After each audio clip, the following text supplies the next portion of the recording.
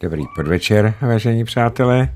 Dnešním hostem studia Beta Svobodného rádia je pan docent Martin Konvička, který je momentálně v přírodě, protože tam provádí nějaká vědecká zkoumání, takže možná bude přenos trošičku, trošičku nestabilní. Takže pane docente, dobrý večer, já vás tady vítám a jsem rád, že jsme se, že jsme se spojili. Dobrý večer, sedím pod pergolou. Z bouřky, která byla hlášena, bylo pár kapek a spousta větru. Už se to trhá, jsem na jihozápadní Moravě. E, kousek za mnou, teda tady přes plot a rajčata, startovalo auto. Pokud nebylo slyšet na druhé straně, tak je to dobrý a máme přenos kvalitní. Tak je to výborné. Pane docente, vy jste přírodovědec.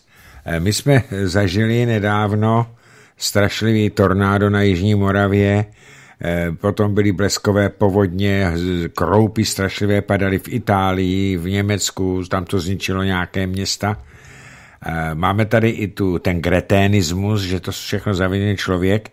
Jak se vy díváte na tyto přírodní katastrofy jako přírodovědec, jako člověk, který k tomu uh, má mnohem blíž než milající? Tak asi úplně na tu otázku ta první, co se musí odpovědět, je, že e, cítím, prožívám a držím palce těm postiženým, že jo? ať už tady na Jižní Moravě, anebo, nebo někde pod pohořím Eiffel. E, a jo, to je to první, co bychom si měli uvědomit.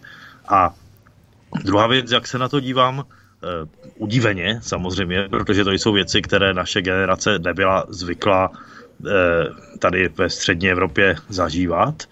A současně oni, ti klima alarmisté, a to je pravda, léta varovali, že bude nabýv, narůstat frekvence neobvyklých meteorologických jevů, eh, takže tady je třeba asi eh, tak nějak pokorně pokývat hlavou, že hold narůstá, že v tomhle asi měli kus pravdy ve svých varováních. A druhá věc ale je, že No ale dívám se na to samozřejmě jako na přírodní jevy, jo? to nehledejme v tom nějaký zásahy, něco podobného. Druhá věc ale je, že e, takový ti klimaskeptici vždycky říkávali, nemůžeme klimatickou změnu zastavit, ale můžeme se, nebo měli, musíme se na ně adaptovat. A k té adaptaci samozřejmě asi patří to, s takovými věcmi počítat, nebo naučit se s nima počítat a dělat to, co je třeba. Eh, například tornádo, že jsme tady měli eh, po nevím kolika letech. Ono se sice říká, že no, meteorologové říkají, že tak dvě, dvě až tři tornáda ročně tady jsou. Ano, no, vždycky ano, byly, ale byly menší, jednak byly menší a jednak spadly někam prostě mimo civilizaci do pole, takže, takže nenadělali mnoho škod.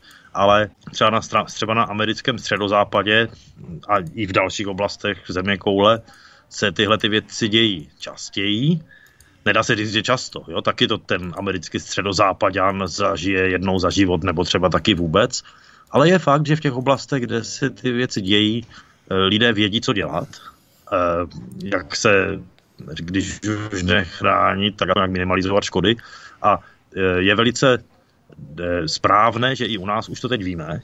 Myslím, že všichni, kdo sledují zprávy a novinky a co se děje, tak už dneska ví, co dělat v případě takového nebezpečí a e, takže prostě e, do, pevné, do, do sklepa nebo do pevného přízemí, dál od oken, nekoukat na to, nefotit to, že jo, když přijde úplně ta nejhorší chvíle, tak si kryt hlavu, ale třeba i takové drobnosti, jako v případě varování před velkou bouřkou si obout boty pevné a obout si pevný oděv, nějaký, nemusí to být kavád, ale prostě aspoň nějakou pevnou mikinu, svetr, a mít u sebe, že jo, doklady, svítilnu, zdroj ohně, vodu, nějakou sladkou tyčinku, protože nejspíš to přežijete, ale ty první hodiny poté nebudou nic zábavného.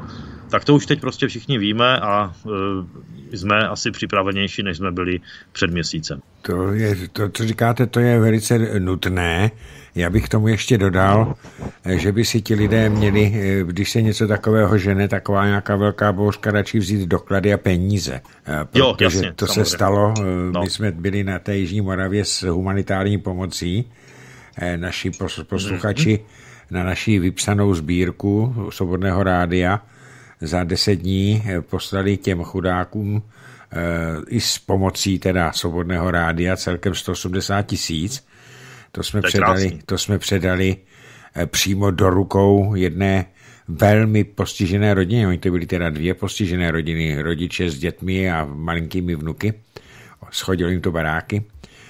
Uh-huh. A právě tam byla největší problém ten, že ti lidé byli a ztratili v tom, v tom šíleném tornádu nejenom doklady, ale i peníze. Takže je potřeba, aby tohle na to lidi mysleli. Ale já se chci zdat jinou věc, pane docente. Vy jste říkal připravit se na to, ale já jsem se dočetl, že to tornádo, které postihlo tu Jižní Moravu, tak bylo v té kategorii F5, F6, to znamená, že ten vítr tam dosahoval 270 eh, až 305 kilometrů. No tomu neubrání se nic přece.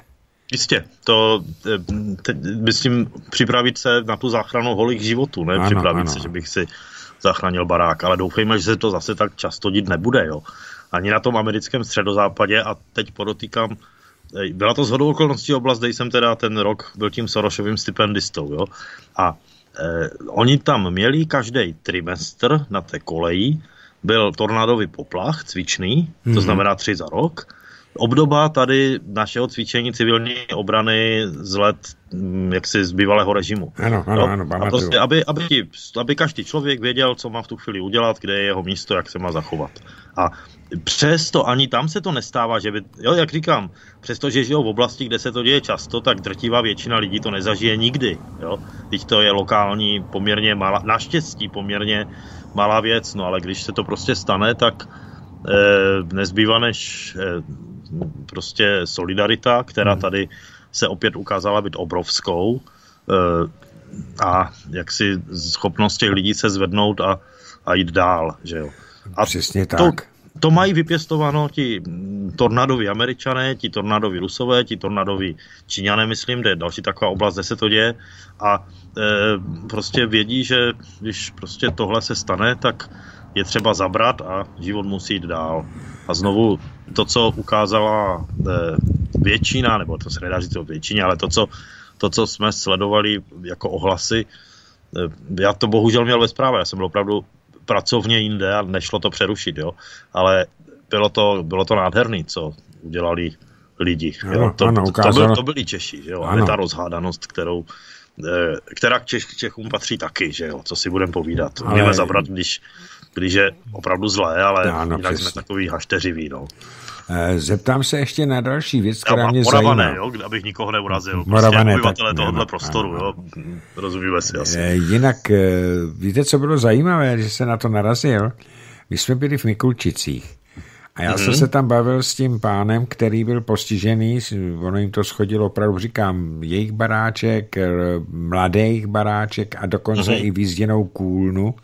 Mm-hmm. Takže to, to, to jim to všechno poscházelo, takže strašná škoda. Ale on říkal, když jsme se právě ptali Češi Moravani, tak on říkal, víte, já tvrdím, že jsem Čech, ale rodu moravského. E, to říkal Tomáš Garik Masaryk úplně stejně, že? Jo, to nevím, to, jsem, to, to, to mě nějak uniklo, ale říká to jo, i jo, dlouhodobě to říkal Masaryk o sobě. E, náš spolupracovník z rádia, Lubomír Aimut, který je z Hodonína a jemu se to naštěstí vyhlo tak ten to říká taky, mně se to hrozně líbí, protože já nemám rád ty, ty tu averzi Čechů vůči Moravanům a, a, a obráceně, protože... Ona podle mě neexistuje. To je umělé než v nějaké rovině nějakých vtípků, to... Jako, nikdy jsem se s tím nějak nesetkal, že by to opravdu existovalo. Přesně, a tak já se s tím občas setkávám tady s mailem, ale jdeme dál. Eh, pane docente, zajímalo by mě jedna věc odborníka. Eh, Maj, eh, to, že se mění klima, tak to je tady známá věc už podle paleogeologů, takže země se vždycky určitý čas otepluje, zase ochlazuje. Máte teda například okolo roku tisíc, nebo před rokem tisíc, tady bylo takový teplo, že tady začal svatý Václav pěstovat, pěstovat víno, chodili ty staří Češi jako, pomalu jako e, římaní, oblečený. ale potom v době husické a po husické se tady ochladilo, byly hladomory, deště, eh, aniž by žádná uhlíková stopa tady byla. Myslíte si, že toto pravidelné střídání, nebo to, co se teďka tady děje, to takzvané globální oteplování, že je vlivem člověka, nebo to je vlivem příro, přirozené kolísavosti eh, zemského klimatu? Vidíte to. A to je otázka, na kterou nechci odpovědět, protože to opravdu nedokážu. Jo?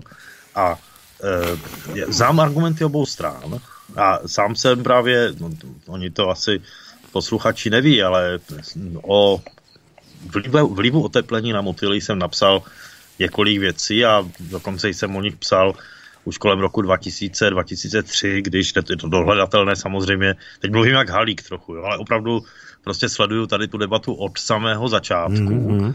a e, je fantastická, fascinující a je to na těch živáčcích opravdu vidět, ty změny. Ale ta vlastní debata o té roli člověka, o roli oxidu uhličitého versus Milankovičovi cykly a tyhle ty věci, je od té doby tak spolitizovaná a současně tak zamotaná, mm-hmm. že abych mohl kvalifikovaně odpovědět, tak bych se tím musel zabývat prostě spoustu let a prohrabat se fakt těmi horami eh, chytrých i méně chytrých prostě věcí, které k tomu byly napsány, promluveny a podobně. A um, už asi tak před deseti lety jsem na to rezignoval, jo? Hmm. Uh, rezi, nebo patnácti, rezi, prostě měl jsem důležitější věci na práci, abych tak řekl. Ale uh, abych se teda jenom nevymlouval, tak takto. Uh, to, že se zvyšuje ten obsah oxidu uhličitého, je celkem zjevné a asi je zjevné i to, že za to může částečně spalování fosilních paliv. O tom žádná, jo, prostě pálíme jich hodně. Ale jsou i další zdroje, které tady jsou, například prostě orba půd, jo, e, například absence pastvy z rozsáhlých oblastí, které byly dřív paseny, takže, takže ty ten uhlík každoroční ta biomasa vlastně oxiduje, jo? Hmm. jinými slovy hníje, místo aby prošla redukčními procesy jo? a stávala se humusem. A tyhle věci jsou, těch věcí je prostě hodně. A stejně tak hodně je, je, je potenciálně různých zpětných vazeb, kterým se to klima může pufrovat přes oceánskou vodu, přes změnu mořských proudů, přes tyhle ty věci. A do toho nám ještě jedou vesmírné cykly, Milankovičovy cykly, které hmm, jsou velice silné a které dělají ty oscilace prostě s nějakými pravidelnými, eh, v nějaké pseudopravidelnosti. Takže eh, to, že dneska část kolegů, tak kolem toho Mezinárodního panelu pro klimatickou změnu, říkají, je to jednoznačně takhle a je to prostě vědecký konsenzus a nic jiného zatím není, tak to je velmi, velmi, abych tak řekl, odvážné tvrzení. Hmm, jo? A tady bych se prosím vás, odvolal, jak je to, že to je takové zbabilé odvolávat se k autoritě, ale já to udělám naprosto výjimečně, eh, protože tou, řekněme, rezervovanost nemám úplně ze své hlavy. Tu mě naučil Petr Pokorný, eh, současný nebo možná minulý, ale rozhodně ještě nedávno ředitel Centra teoretických studií Univerzity Karlovy. To znamená postava naprosto mainstreamová, jo, a šajba.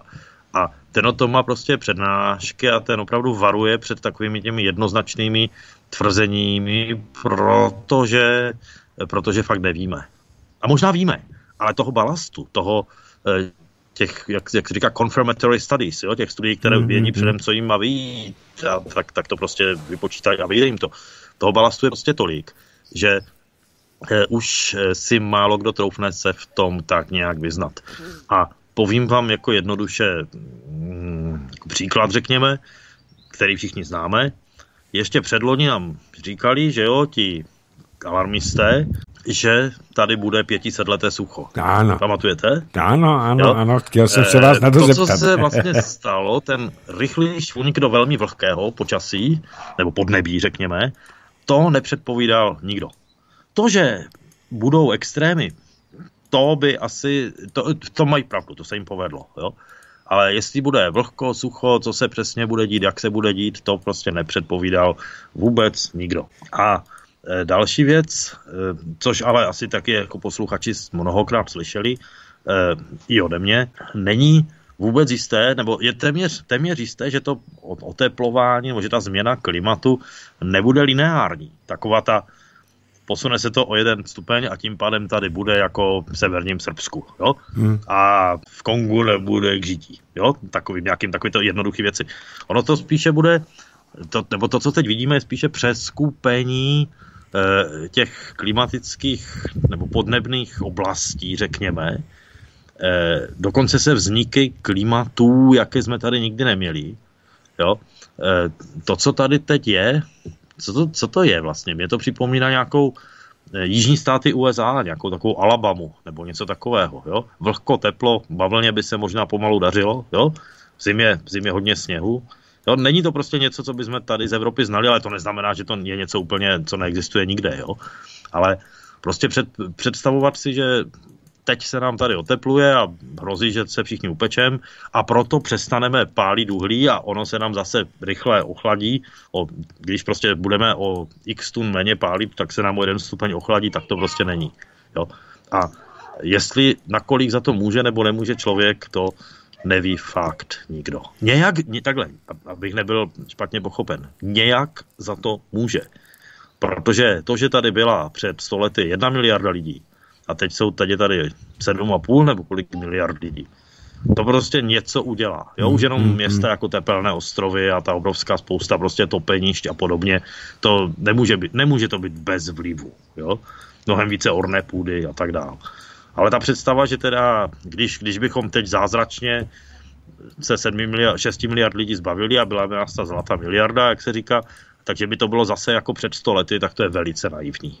Ano, já jo? se taky myslím. Zeptám se vás ještě na jednu věc. Já jsem se taky dočetl.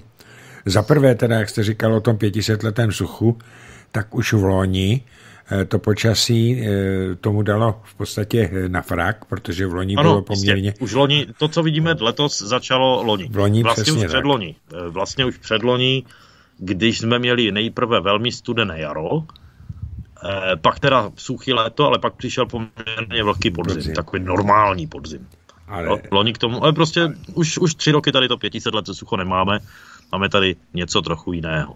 A pozor, ono to je opravdu jenom trochu jiné, protože eh, třeba fenologické jevy. Fenologie je, eh, zkusím to bez toho pseudochytrého slova, eh, časování přírodních dějů. Jo? Hmm, prostě čas, načasování. Tak jestli si vybavíte, kdy letos byly žeříky a kdy letos byly třešně. No to víte, že si to vybavuju. Já to totiž porozoruju už 70 ano, let od, malý, ano, od malinka. Ano, ano, ano. ano. A šeříky byly ještě o trošičku později než 9. května 45.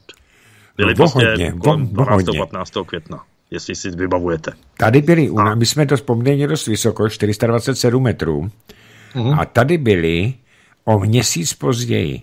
To znamená, no. že byly ne začátkem května, nebo tady to vždycky, když není enormní teplý, tak to tady chodí okolo toho toho 12. 13. května rozkvetou, že říkám, je máme na zahradě, já je miluju.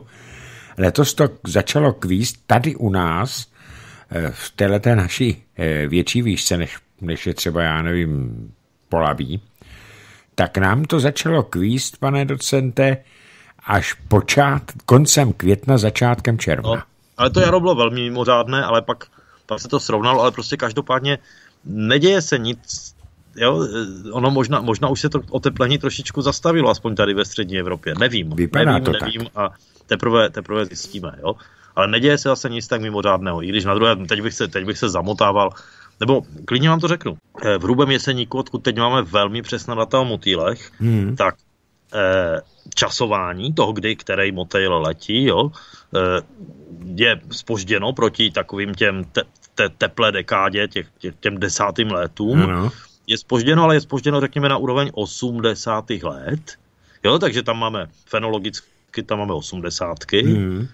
Ale s takovou drobností, že některé horské druhy vystoupily výš. Už nežijou třeba, třeba okáč menší, to už je detail, žil kolem tisíce metrů a teď, teď prostě pod těch 12 jako nejde. jo? Hmm, Takže je tam kombinace jakéhosi asi fakt oteplení, ale současně eh, ta, ten, ten, ten roční průběh toho počasí, řekněme, způsobil, že e, jsou to osmdesátky, ale trochu teplejší.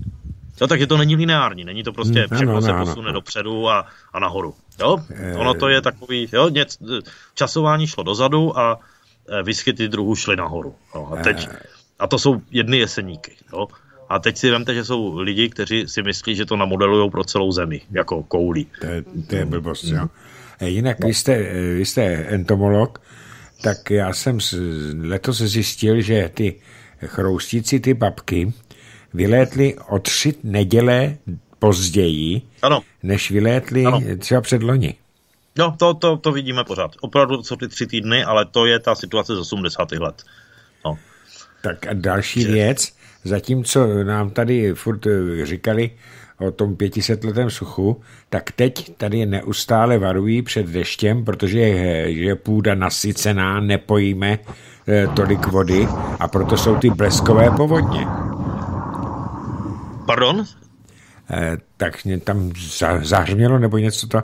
Říkám, že zatímco nám před dvěma lety tvrdili, že tady je deficit vláhový, no tak, tak už není, no. dnes je to přesycené a proto zvarují před bleskovými povodněmi a, a při jakékoliv průčinnosti. No mě, mě nadchlo, eh, že když byly ty povodně v Německu, tak vybublala zpráva, kterou teda pokládám za naprosto otřesnou, že tam nedošlo k varování obyvatel a záchranářů a prostě všech těch složek, protože oni zrušili sirény, to jste slyšel? Mm, ano. A, a eh, nebo prostě takové ty primitivní způsoby typu mě, vesnický rozhlas, jo, prostě ty způsoby, které fungovaly tisíc let, neměli sice vesnický rozhlas, jo, ale měli nějakého ponocného hlasatele, rychtáře, eh, chlapíka na, na hlásce a podobně.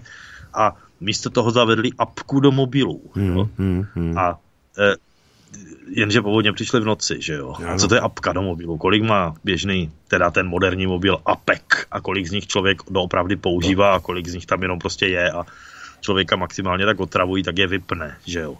A e, takže na tom je vidět.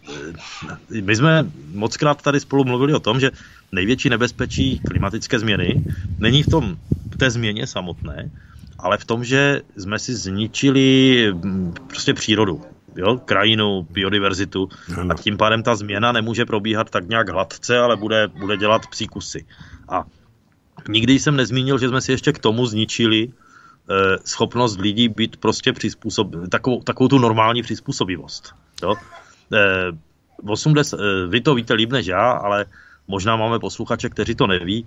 Eh, když byly ty cvičení civilní obrany, když jsme se chystali na tu válku s Amerikou, že jo, za mého dětství, tak nám vždycky říkali, že před jaderným úderem se varuje bušením do železné tyče. A by to tehdy přišlo bizarní, že jo, požár, bombardování, kde si co si je sirena a jaderná válka bude bušení do nějaké kolejnice. Mělo to logiku. Ale teď zpět, Mělo to logiku, přesně tak. V tu chvíli už je všechno pravděpodobně úplně ztracený mm. a mhm. zničený a v troskách a ta železná tyč je vlastně to jediné, co ještě může fungovat, že? Přesně, ano. Nepotřebuje elektriku, nepotřebuje e, prostě neškulý počítač nebo aplikaci, že jo? Prostě nejhorší nebezpečí varovat tím nejjednodušším způsobem. To byla ta logika, že jo? A to nám jako neřekli no, v těch, v těch braných výchovách, že je zatím tahle logika, ale to, že vlastně západní Evropa si myslí, že bude s nějakou změnou klimatu bojovat za pomoci APEC, hmm. elektromobilů, dobíjecích stanic, těchto těch eh, proteinových nebo vegetari- ve, veganské stravy a podobné věci, to jde přece úplně proti tomu. Jo? Ano. Pokud teda tady se na nás má řídit nějaké nebezpečí, tak přece budeme bojovat tím nejjednodušším způsobem. Naučíme kluky znovu zacházet s nožem, sekirkou a řekněme palnou zbraní. Naučíme kluky i holky zacházet se zahradnickým náčiním eh, a šít a vařit. Jo? To, to je to přizpůsobení, protože nakonec to jsou věci, které se, abych tak řekl, hodí vždycky. Že jo? Ale ono to Přesně má jako ještě... s tou přírodou. Já říkám, měla by, měly by ty opatření být takové v té přírodě, nebo v té krajině, aby byly ke prospěchu, i kdyby žádná změna nebyla. A nebo byla jiná, než si myslíme. Jo? A úplně stejně myslím v té společnosti. Ta opatření by měla být taková, aby byla ke prospěchu, i když se nic špatného nestane. Jo? Já to říkám tak, že lidi přestali umět žít souladu s přírodou, odcizili se té přírodě, to je jedna věc. A druhá, my tady na jedné straně, pane docente, máme skvělou možnost, že dostáváme informace z celého světa okamžitě po internetu a já nevím po všech různých elektronických eh, komunikačních systémech, ale ono to má také své negativa. Eh, největší počet obětí v německých záplavách eh, bylo způsobeno tím, že lidé v Německu znali a věděli, co se stalo na Jižní Moravě, to tornádo, a když se tam hnala ta veliká bouřka, tak ze strachu před tím tornádem vlezli do sklepů, přišla voda, ten tlak vody jim znemožnil otevřít ty dveře Jasně. oni se tam utopili jako, jako koťata. A to, je, to já jsem to dával za vinu tomu, že ti lidé eh, měli strach z toho tornáda a nikdo ani přes ty apky a já nevím, co ještě je nevaroval, že tornáno nejde, ale že jde voda. Jo, jo. No prostě tohle je ta věc. Opravdu to má své velké nevýhody, ten otevřený svět. Přesně tak. A přitom ten otevřený svět je fajn, jo? No je, ale, je. ale všeho s mírou. Všeho, všeho s mírou. Eh, zeptám se na další věc. Já jsem se taky dočetl, eh, já jsem si o tom něco přečetl, když jsme věděli, že si budeme povídat, a, ale už dřív jsem se dočetl, že ono to, mm, ty klimatické změny eh, taky můžou být tím, že se nám trošku mění zemská osa. O tom, že se mění, každý rok posunuje geomagnetický pol Země, to je stará záležitost, to už věděl Amundsen. Ale ona se nám taky mění e, zemská osa e, přirozeně. A není dokonce, jak jsem si přečetl, vyloučeno, že se přepoluje země. A já se ptám, není tak ty klimatické změny, a v minulosti se to stalo prý, tak v eh, souvislosti s tím letím nenastane tady, kdyby se to náhodou stalo zase eh, masivní doba ledová? No ne, to se mě ptáte trošku, trošku moc a trošku málo. E, ty, ty změny náklonu zemské osy patří k Milankovičovým cyklům. Já, to, já jsem si to a, čet, ano. Jasně. A e, ty Milankoviče, Milankovičovy cykly jsou, myslím, čtyři. Teď se obávám, že kolegové, kteří to vylépe, se jim zježili vlasy, protože možná jich je pět, já teď si nejsem jistý. A jeden z nich je mírná, mírná změna, prostě periodická toho náklonu zemské ano, osy, která ano, samozřejmě s počasím cvičí. Jo? A nebo s podnebím, nebo s klimatem. A e, prostě jsme to tady měli, zase to tady máme a teď byste se ptal na tu dobu ledovou. Ty, e, jedno z vysvětlení, proč v pleistocénu, to znamená v těch čtvrtohorách, ano. dochází k e, střídání do ledových a meziledových. Jedno z vysvětlení jsou právě ty Milankovičovy cykly. Jo? Že ty, ty jako jedou, je to prostě několik různých astronomických cyklů a když se dostanou do nějaké do nějakého synchronu jednou za čas, tak, eh, tak nastává ochlazení, pak zase oteplení. Jo? A eh, ten vtip je, že je na čase, aby nastala doba ledová. Protože po celý svrchní pleistocén ta periodicita byla teď bajvoko trošku, ale asi 90 tisíc let ledová a 10 tisíc let meziledová. Jo?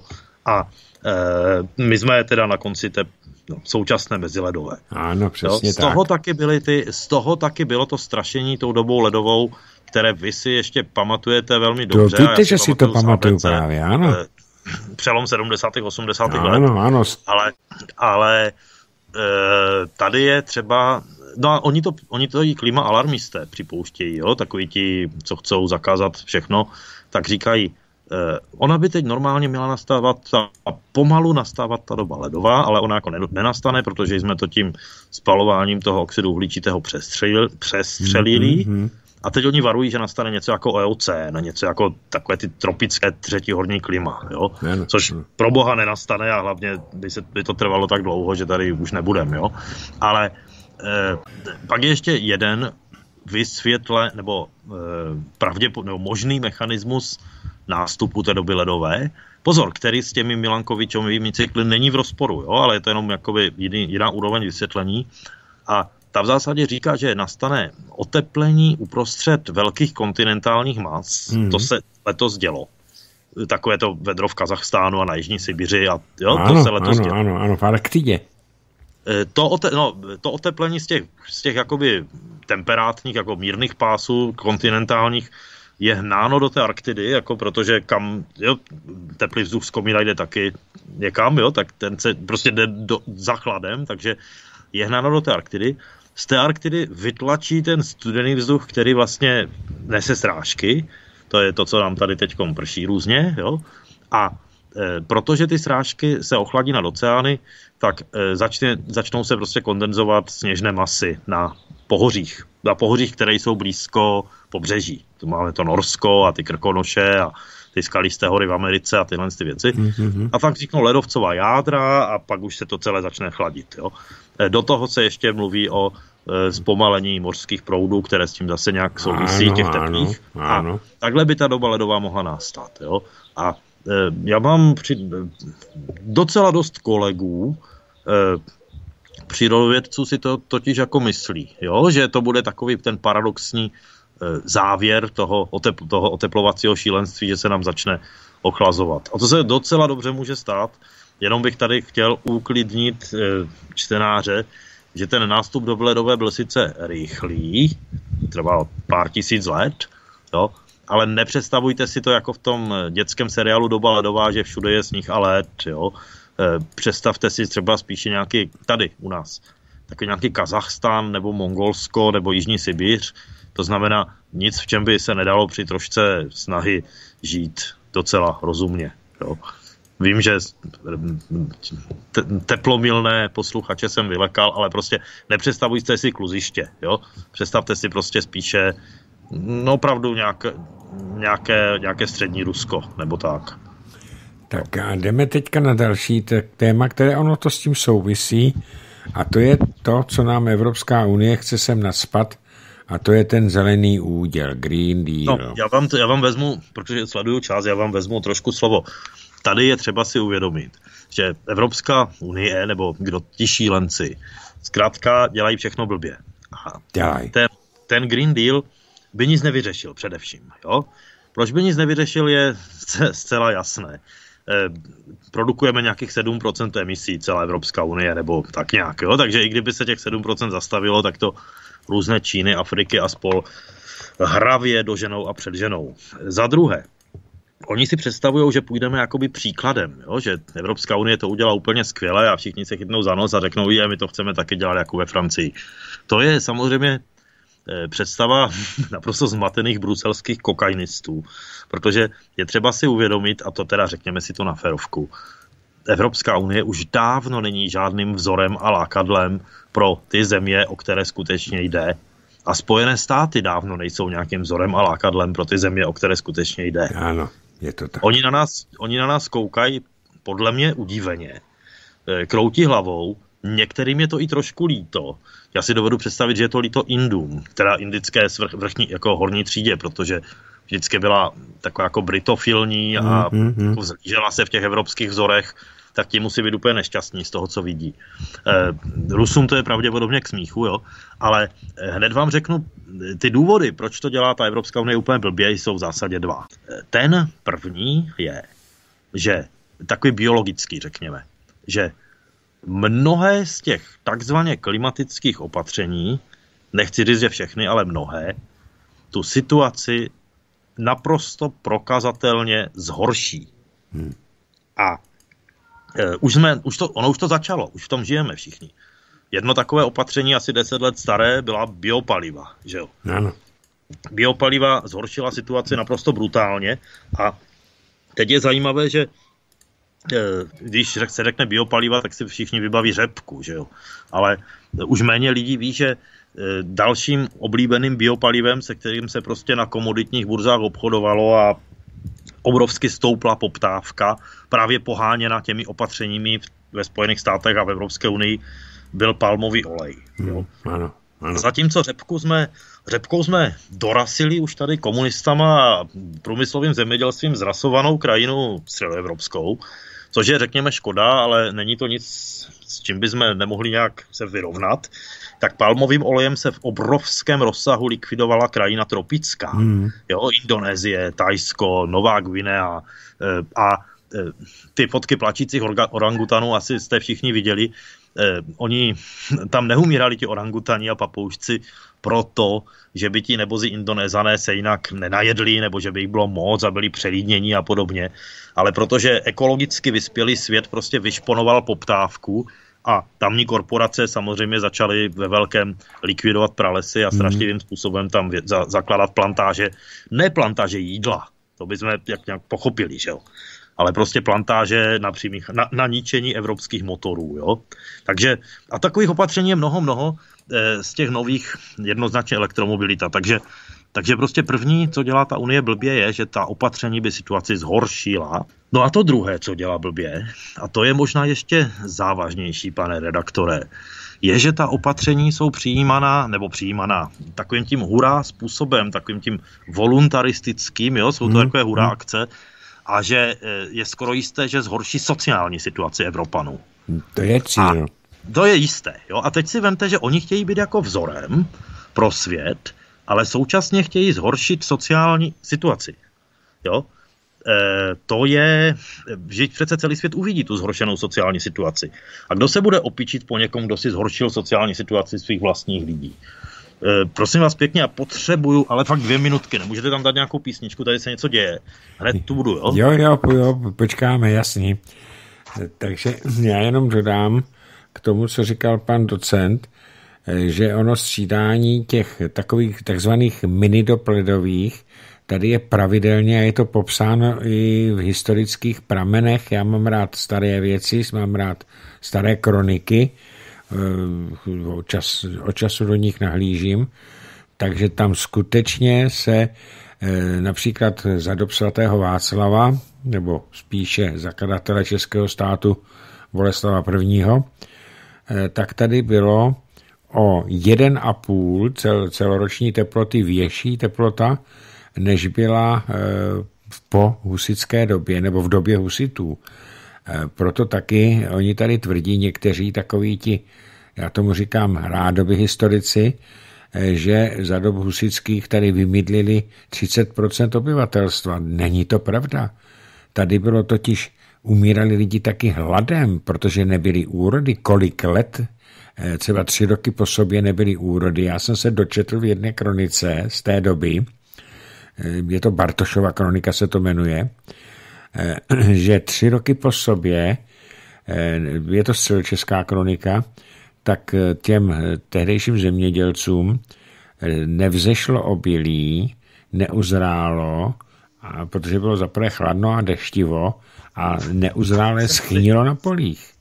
Takže to bylo taky tím hladem hlavně. Samozřejmě vybilo se taky dost lidí, ale nebylo to těch 30% jenom tím, tím válčením, ale bylo to právě tím hladomorem. Já jsem tady. Tak, můžeme pokračovat. Zhrnu to prostě tak, že ta Unie, krom toho, že ty opatření opravdu poškodí krajinu, přírodu a klima, mnohé z nich, tak ne. Krom toho způsobí prostě, pokud budou dotažena, pokud se to stane, jo, já hned můžu vysvětlit, proč se domnívám, že se to nestane. Ale e, ta opatření by z toho, řekněme, vyspělého světa našeho udělala odstrašující příklad. To jo. A teď si vezměte, oni často argumentují ti alarmisti, že na, ta, na ty věci přichází i Čína, jo?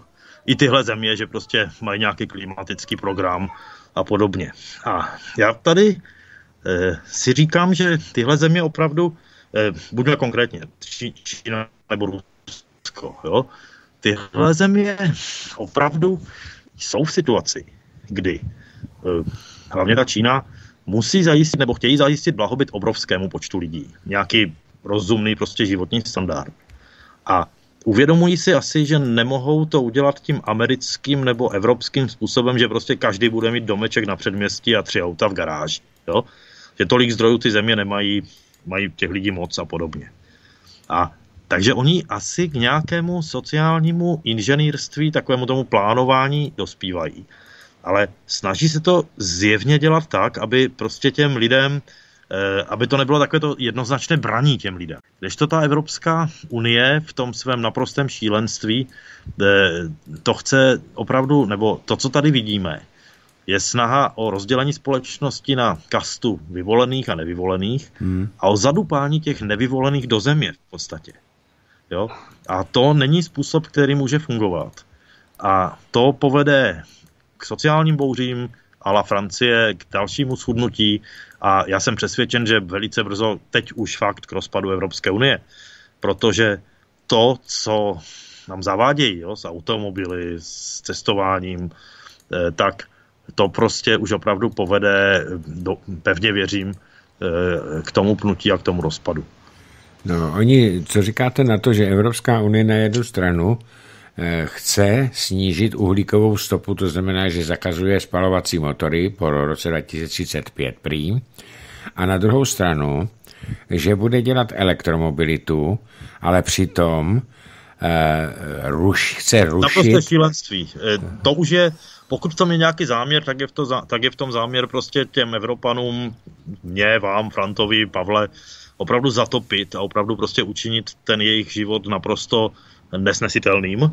A je to vidět na tom, jaká, na, na těch, že jo, ďábel se skrývá v detailu. Hmm. Teď byly zprávy všude možně, že už se budou vyrábět nebo prodávat v EU jenom auta, které vás začnou trestat za porušení rychlosti. Ano, za, ano, se to? Ano, ano, zaregistrovat. Je to, je to blbůstka samozřejmě, ale porušování, rychlost se samozřejmě porušovat nemá, že jo, a kdo ji nikdy neporušil, já, já myslím, že to je jak s tou masturbací u té rychlosti, jo, prostě, ano, víte, ano, jo? Ano, a, a e, takto, jenže ten mechanismus, že vám to začne prostě vibrovat a kvílet, proboha, co když někdo poruší tu rychlost opravdu z dobrého důvodu, aby, co já vím, e, rychle objel překážku nebo něco takového, jo, nebo co když už nějaký neskušený řidič poruší omylem, taky hmm. se může stát, že jo a najednou mu to ještě začne vibrovat a chvíle, no, to je recept, jak, jak zabíjet lidi. Ano, přesně tak, budou bouračky jo? z toho, ano, ano. Ale ono to je další, co jsem chtěl říct, uh, oni chtějí zároveň rušit uhelné a jaderné elektrárny. No jistě, to je, to je naprosté šílenství, to prostě dokazuje, že tomu už vládnou naprosto blázní. A tady bych, tady bych ještě znovu ocitoval toho Petra Pokorného, které už jsem jednou citoval. Hmm on říká naprosto jednoznačně, že tahle civilizace vyrostla na využití fosilních paliv. Ať se nám to líbí nebo ne.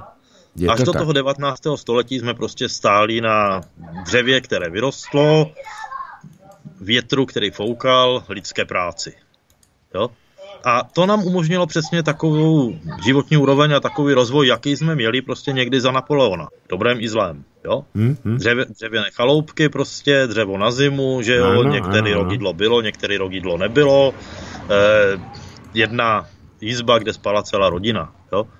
A dál to nejde. Jo? Představa, že to vyřeší vítr a slunce je super naivní, protože ten vítr a slunce to měli i za toho Napoleona. Víme, kam, jako něco s tím šlo, třeba přeplout oceán, ale něco s tím prostě nešlo. Třeba zařídit teplou vodu pro každou rodinu. Jo? A takže, takže, takže to, tohle už je naprosté, naprosté šílenství. Navíc to zvětšuje tu závislost na Číně, protože to, ty technologie nemáme, že jo, likviduje se výroba úplně mm, všeho, mm, ano, ano. Eh, likviduje se transkont nebo zámořská doprava, jo. Takže to už je naprosté šílenství, které skončí prostě s sociálními bouřemi, mm, rozpadem, rozvalem. Eh, všimněte si taky, jak se to všechno tady valí v této covidové době. Jo. A e, vy asi víte, nebo posluchači ví, že já jsem e, covidoalarmista, abych tak řekl, jo, e, karanténkář, jo, prostě nepokladám za rozumné takovéto zlehčování té situace, ale naprosto souhlasím s tím, že ty zběsilé a mimo realitu soudci evropské orgány zneužívají tu situaci. Jo? Protože ano, prostě zneužívají. lidi mají jiné starosti, život je vymknutý z kloubu, jo? takže si řeknou, no tak teď jim ještě můžeme prostě, co jim ještě zakážem, tak třeba ty aut. Ale hmm. samozřejmě nedovedu si představit, že si to Evropani nechají dlouhodobě líbit. A Víte? další věc je zajímavá a ta, to bych asi tady mm, slíbil jsem, slíboval jsem, myslím, před dvěmi měsíci, že si to dostuduju a neudělal jsem tak ještě, ale další věc je zajímavá, že tahle podivná kvazi ekologická Evropa se stane neatraktivní nebo méně atraktivní pro tu migraci. Takže jestli je možná na těch jejich šílených plánech něco zajímavého, tak to, že eh, jak kdyby byl prostě chlapec někde z Nigérie a oni mi řekli, že tam budu jíst veganskou stravu a svítit tři hodiny denně a nedostanou to auto. No. A nebo když tak nějaký elektromobil s přidělenými limitem nabíjení na měsíc, tak se na to prostě vykašlu a počkám si na ty Evropanky v té Nigérii. Protože začíná nám tady prostě opačný proces. Jsou to první náznaky, první vlaštovky, ale e, přibývá lidí, kteří si říkají, tady to nemá budoucnost, tady, proč tady žít, o, o co tady usilovat.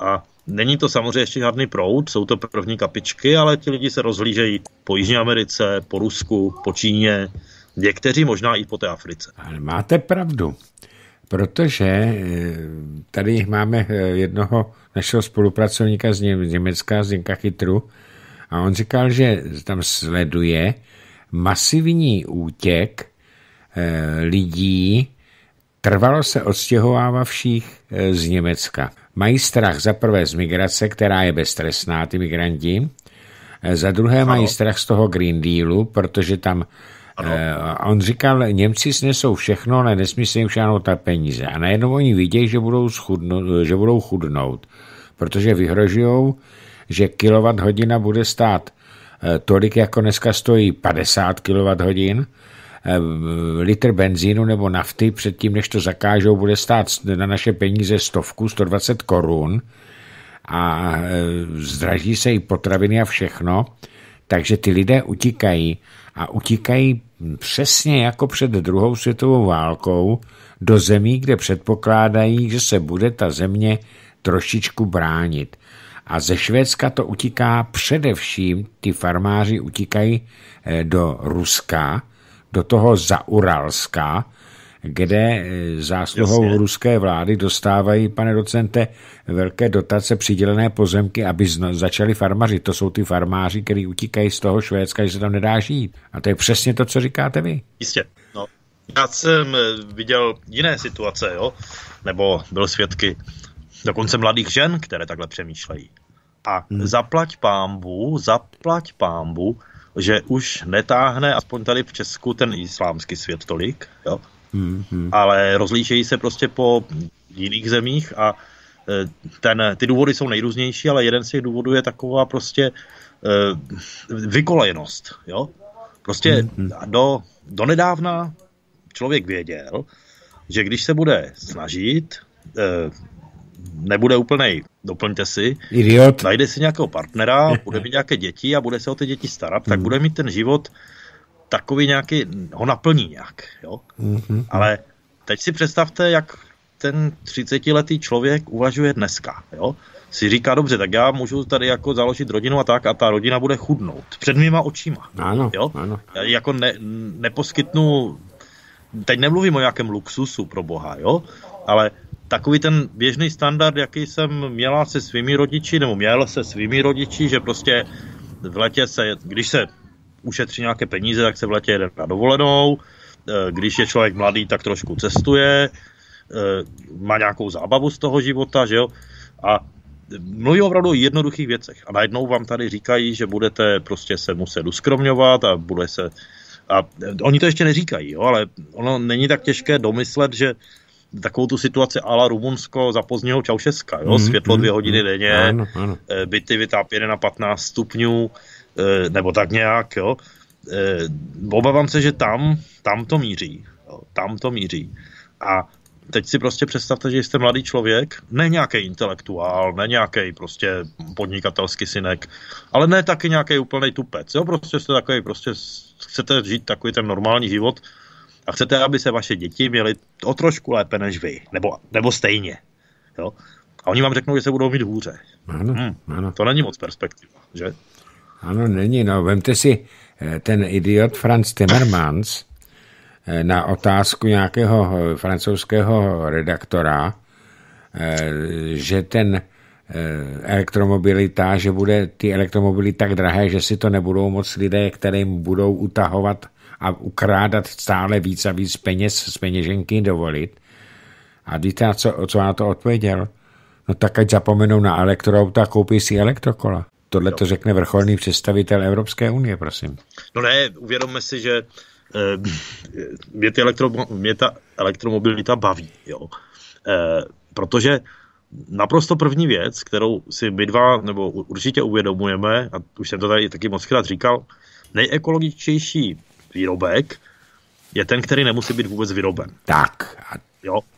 Je to kruté možná vůči korporacím, které chtějí něco vyrábět, ale jestliže má někdo automobil, na kterém na, najede eh, půl milionu kilometrů a ten automobil je poměrně bezporuchový a funguje a pořád prostě plní svoji funkci, tak ten udělal mnohem více pro životní prostředí, než ten, kdo si, co, co 150 tisíc se říká, protože víc to nevydrží, že jo, koupí elektromobil. Ano, ano. Protože, protože ta nafta, kterou tam propálíte, nebo ta elektřina v čerty, je vlastně maličkost proti té oceli, proti tomu sklu, proti té pryži, proti těm eh, vzácným kovům, proti té elektrice a tomu všemu, co v tom autě je. A že jo? plasty my to víme, ale podle mě to tady voliči piráti, pirátu nevědí, že ty plechy na ten auták se vyrábějí v hutích. Hmm, jo? Hmm. A tam teprve jede, tam, tam teprve jede ta spotřeba energie. Jo? To není jako, jako si zajet z Prahy do Budějovic.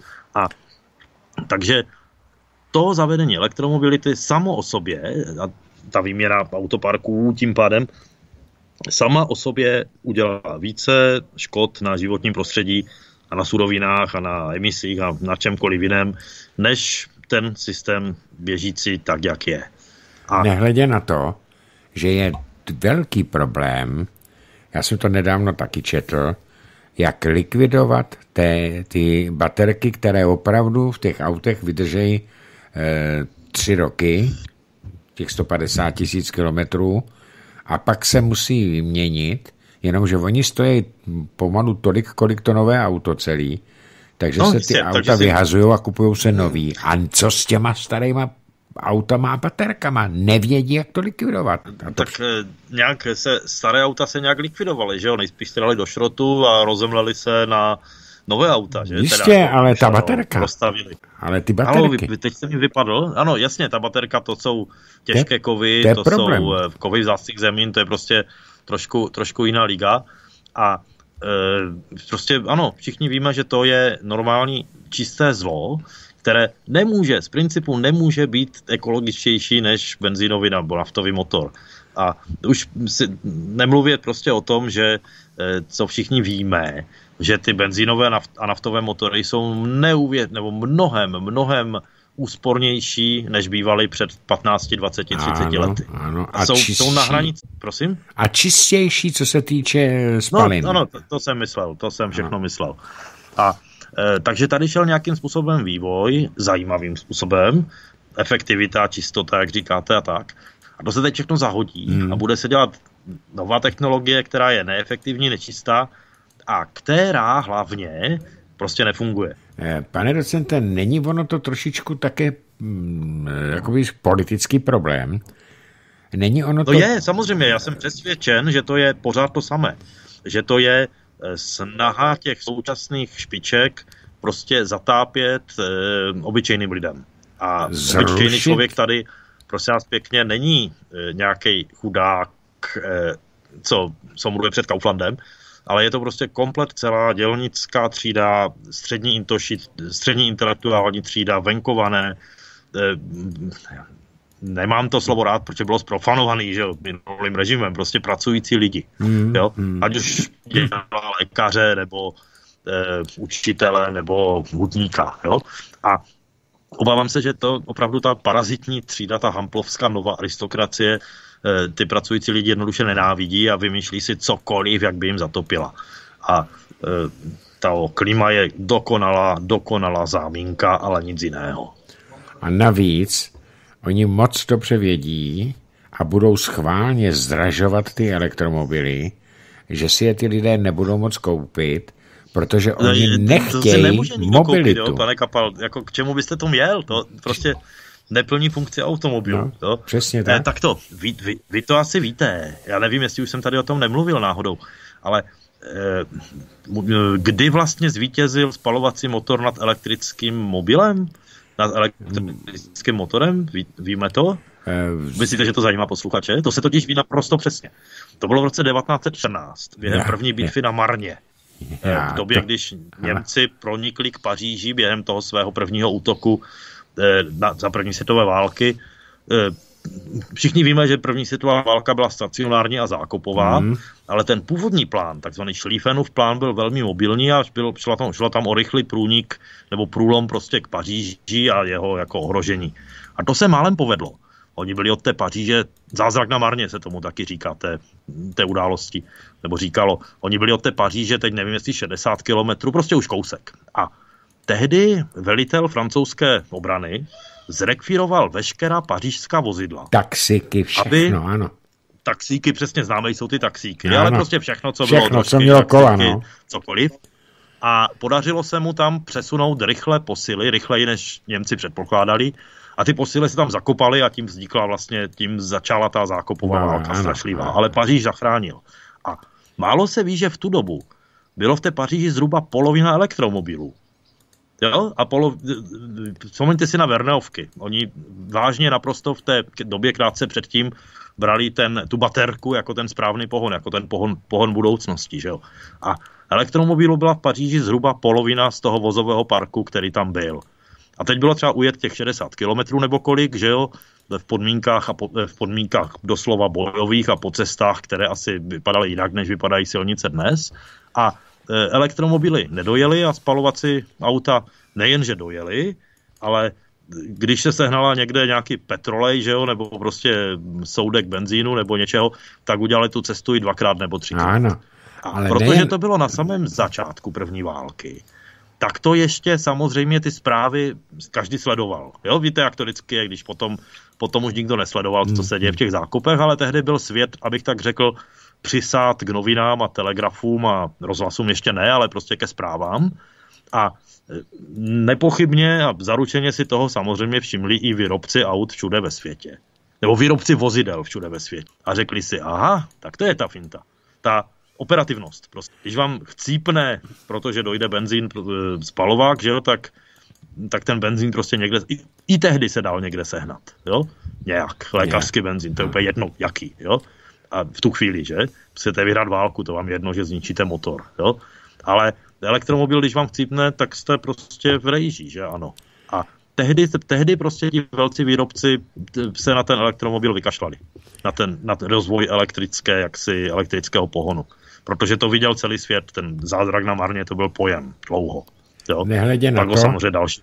Nehledě na to, že třeba, nehledě na to, že v roce asi 1908, mám takový dojem, byl maximální světový rekord v rychlosti, eh, tenkrát to bylo asi 120 km, ale to, ne, to, mě neberte za slovo, já už to přesně nepamatuju, ale byl to elektromotor. Přesně, já rozumím.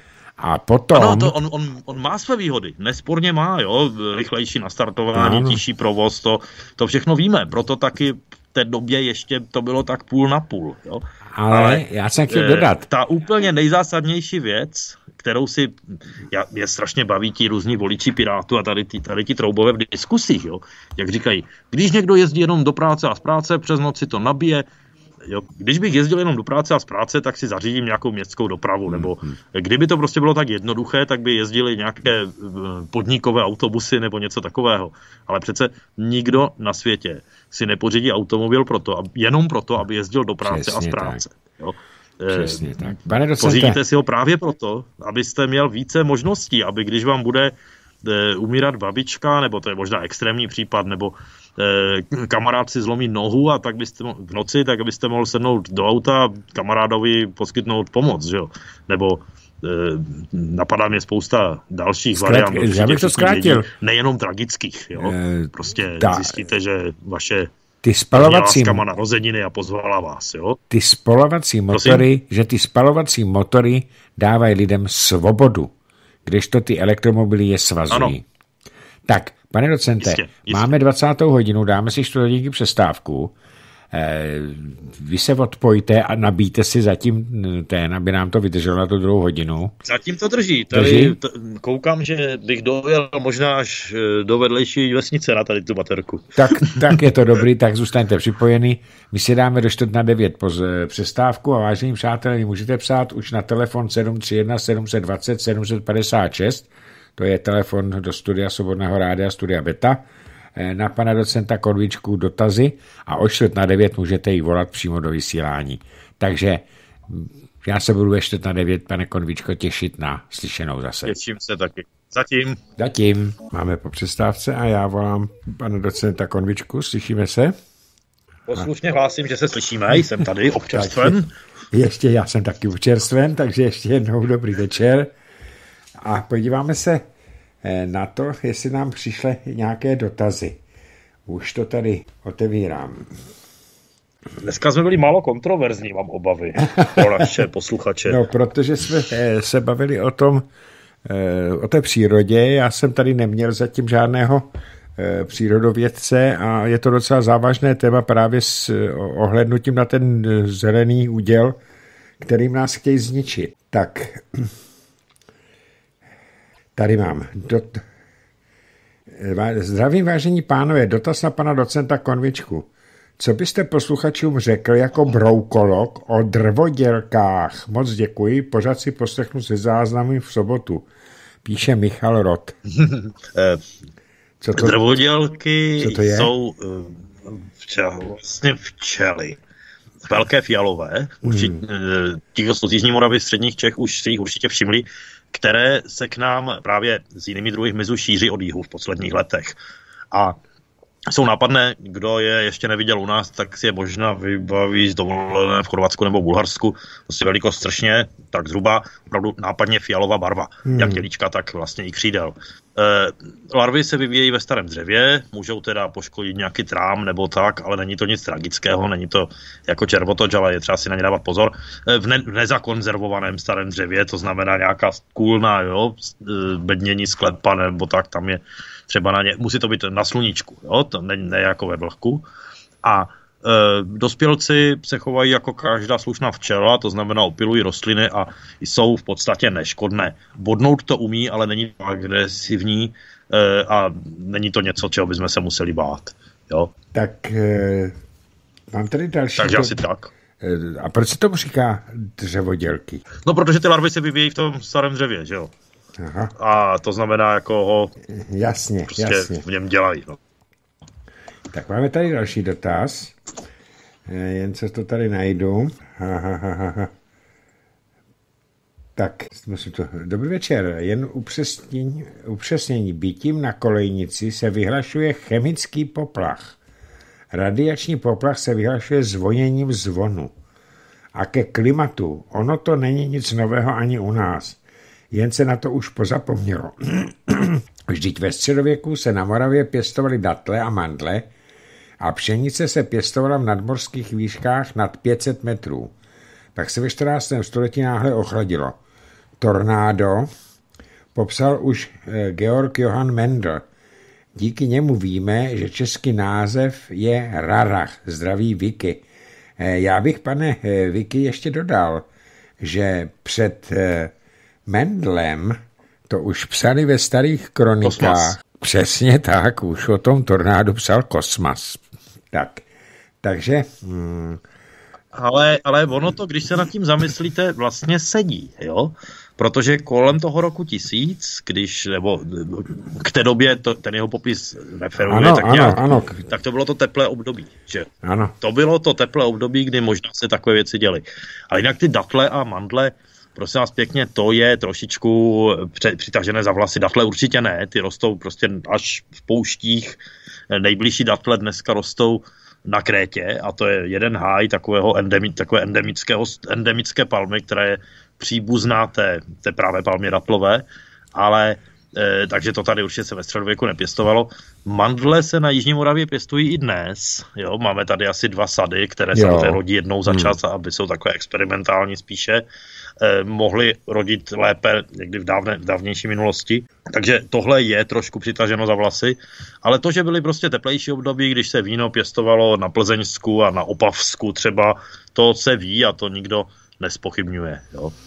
Eh, mám tady další dotaz. Eh, dobrý večer. Jak vidíte, pane docente, obnovu lesů za katastrofickou devastaci, jaká nemá obdoby ani v kyselých deštích za komunistů? Kde pamatuji zalesněno, jo, to je pěkné. dnes projíždím holinami odkrytými do erozy. A také, jak vnímáte ničení krajiny a dopady již tlemého eh, dálničním šílenstvím, nakolik náspů, betonu a asfaltu je naše zem už malá. A to rád jezdím a elektro beru za nesmysl. Místo výhledu do krajiny dnes vidím šílené betonové struktury, které vytlačují zvěř a tak dále, píše Jirka Spardovic. Tak, to jsou hned tři otázky. Přesně tak. Já to zkusím trošičku, já to zkusím trošičku rozdělit. Tak, zrovna o těch lesích, to znamená o té nové kurovcové kalamitě, mám trošku přípravu, protože jsem si o tom tady před chviličkou povídal eh, se dvěma patrioty tady z kempu, chviličku před rozhovorem s váma. Mm-hmm. A eh, z hodou okolností mě to hodně zajímá, protože eh, jednak jsem vlastně svoji kariéru entomo, do entomoekologa nebo ekoentomologa zahájil kdysi dávno na lesních motýlech. Hmm. A e, druhák to prostě zajímá úplně všechny. A tady je třeba opravdu rozlišovat několik jevů. Jo? E, oni, někteří mediální podvodníci často dávají dohromady tu kudovcovou kalamitu na Šumavě, která se dě- začala někdy v půlce 90. let, s tou, řekněme, vysočínskou kurovcovou kalamitou, která začala později, začala teď už to dohromady nedám, ale před 10-12 lety a začala na severovýchodní Moravě, teda konkrétně na Hlučínsku a v Nízkém Jeseníku. A opravdu to byly druhy kurovců a populace kurovců, které tam se nahrnuly z Polska. Oni se šly ty kalamity samozřejmě, ale jakoby ta jedna zůstala v těch pohraničních horách a ta druhá šla takovým šikmým pásem, jo, představte si od, těch, od toho nízkého jeseníku přes Vysočinu směrem někam e, do, řekněme, jeho východních Čech. A teďkom, e, co je k té, k té druhé kalamitě, tu první teď nechme, jo, ta druhá je ta větší samozřejmě. A to jsou ty obrovské plochy úplně suchého lesa. Mm, mm, mm. A e, ptali se mě na příčinu, že jo tady, tady pánové z kempu a tady pán asi taky.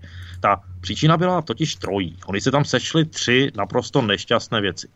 Jedna byly ty opravdu extrémně suché roky, hmm. 13, 14, 15, 16, pamatujete, jo? Ano, Když ano. strašili tím 500 letým suchem. Druhá byla v tu dobu probíhající, nevím už kolikátá, majetková transformace v lesích. Jo, to bylo to vracení těm církvím a naprosto změna mm, vlastnických mm, poměrů. To se dělo v tu dobu. A třetí byl takový ten, to, to známe všichni, takový ten boj s korupcí, který se tady velice hlásal v tu dobu a který způsobil, že naprosto jednoduché věci, eh, jako zadat někomu nějakou práci rychle, se strašně zkomplikovaly přes takové ty výběrová řízení a tyhle ty věci, kterým já moc nerozumím, ale vím, že jsou naprosto šílené. A takže se rozbila taková ta lesní služba, která fungovala tím způsobem, že každý kus lesa, každé lesní území mělo nějakého hajného, polesného, prostě nějakou zodpovědnou osobu, která měla k dispozici ta osoba, eh, jak to přesně fungovalo, by vám řekl lesník, já nechci tady to říkat špatně, ale která měla k dispozici nějaký základní technický personál. A teď oni měli tu kurovcovou službu, to bylo takové, když se někde objeví kurovec, kurovcové oko, oni tomu říkají, tak se musí rychle zlikvidovat, musí se tam prostě poslat chlapi, aby to zlikvidovali hned, zítra, jo? protože tady platí se nějakou všech epidemií, že? že když se zasáhne včas, tak eh, se problém nešíří. A tohle to, tohle to prostě nefungovalo v těch letech, v těch samých letech, kdy nastala ta extrémní sucha. Takže a, a pak už se to rozdělo jako požár. Hlubší příčina toho všeho, opravdu hlubší je, že ty smrkové monokultury nebyly nejlepší volba pro tohleto území. My to, to ví všichni, že jo? to všichni víme, přírodovědci předtím strašili 100 let, to pro, opravdu najdu vám e, učebnice a články z konce 19. století, které říkají, že tohle bude špatně. A nebyly nejlepší volba jaksi ekologicky, ale svého času byly nejlepší volba hospodářsky a trošku ano. ekologicky, protože uvědomme si, ano. že tady tohleto, já tomu říkám středoevropské smrkaření, má nějaký zcela jasně daný začátek. A to jsou tereziánsko-josefské lesní reformy, a v tu dobu se začalo pěstovat ty lesy na ten setrvalý výnos, jo, a to zakládání lesů a celé to středoevropské lesnictví v tu dobu začalo. A to byla, když si to uvědomíte, to byl vrchol malé doby ledové. Jo? To znamená, že to byla vlastně doba, když ten horský a studenomilný smrk eh, byl na tom relativně dobře i v těch nižších polohách. V tu dobu se ty smrkové plantáže, protože oni to často nebyly lesy, ale skutečně plantáže, jenom, my, jenom my milně říkáme lesy, v tu dobu se ty plantáže zakládaly a teď měli dva nebo tři mítní cykly a on ještě, tam je ještě jedna taková nešťastnost, že smrk je dřevina, která sama sobě ničí půdu. To má extrémně kyselý opad a takže po několika generacích toho smrku už vlastně ani ten smrk v tom svém vlastním opadu ne, neroste dobře. Jo? A. E, takže tam se sešly všechny tyhle ty věci dohromady. E, nedá se říct, která byla primární. Jo? Jedny jsou starší, jedny, jedny jsou jako moderní nebo nové. A samozřejmě nemusela by ta kalamita být tak drastická, nebyt toho rozvratu té lesní služby a té proměny těch majetkových poměrů, jo, který, oni se zase ustálí, věřím. Tohle to není nic tragického, ale na nějakou dobu to problémem bude.